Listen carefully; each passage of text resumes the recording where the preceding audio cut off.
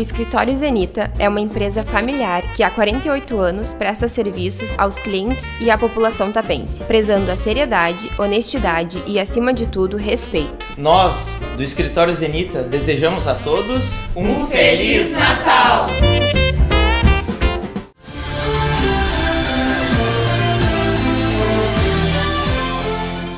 A Prefeitura de Tapes, através da Secretaria de Obras do município, vem realizando desde o dia 5 de dezembro as obras de melhorias e restauração no encanamento da rua Flores da Cunha, em Tapes. Conforme a assessoria de comunicação da Prefeitura, os trabalhos foram finalizados pela Secretaria de Obras na terça-feira, 12 de dezembro. Durante as obras de melhorias, o local onde estava sendo realizada a restauração do encanamento foi bloqueado, fazendo com que os motoristas redobrassem atenção na esquina entre as ruas Flores da Cunha com Alcides Afonsim.